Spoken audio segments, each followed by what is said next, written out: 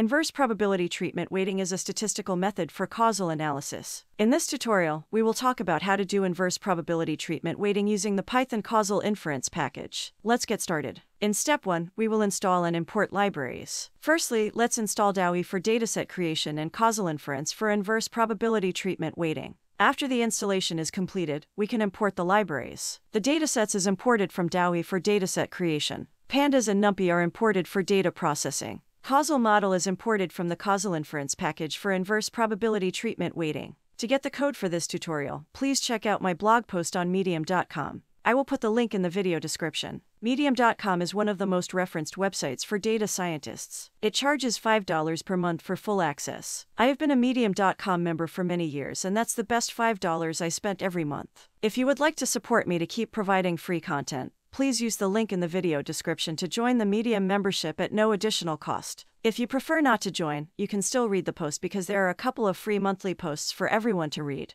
Okay, let's continue. In step 2, we will create a synthetic dataset for the causal inference. Firstly, we set a random seed using np.random.seed to make the dataset reproducible. Then a dataset with the true causal impact of 10, 4 confounders, 10,000 samples, a binary treatment variable, and a continuous outcome variable is created. After that, we created a data frame for the data. In the data frame, the columns W0, W1, W2, and W3 are the four confounders, V0 is the treatment indicator, and Y is the outcome. Next, let's rename V0 to treatment, rename Y to outcome, and convert the Boolean values to 0 and 1. In step 3, we will initiate causal model and print the raw data summary statistics. Causal model takes three arguments. Y is the observed outcome. D is the treatment indicator. X is the covariates matrix. Causal model takes arrays as inputs, so dot values are used when reading the data. Causal dot summary stats prints out the raw summary statistics. The output shows that there are 2,269 units in the control group and 7,731 units in the treatment group.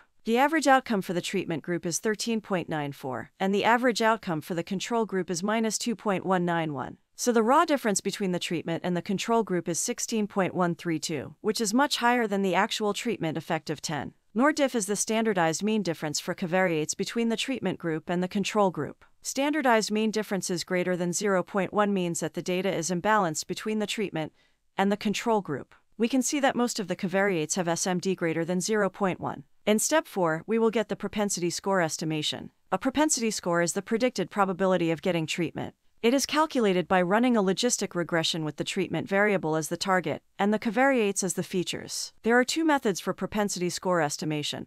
est_propensity_s and est_propensity. ESD propensity allows users to add interaction or quadratic features. est_propensity_s automatically choose the features based on a sequence of likelihood ratio tests. In this step, we will use est_propensity_s to run the propensity score estimation. From the model results, we can see that the feature selection algorithm decided to include only the raw features and not include interaction or quadratic terms. To get the propensity score, use causal.propensity fitted. In step 5, we will talk about inverse probability treatment weighting. Generally speaking, the algorithms of inverse probability treatment weighting can be divided into the following steps. Step 1 is propensity score estimation. Step 2 is to calculate weights for each unit. For the unit that received treatment, the weight is the reciprocal of the propensity score. For the unit that did not receive treatment, the weight is the reciprocal of 1 minus the propensity score. Step 3 is to run a weighted least squares model with the weights calculated in the previous step. The Python causal inference package has a function called est_via_weighting to implement these steps. Note that the propensity score needs to be estimated using the Python causal inference package before calling the est_via_weighting function.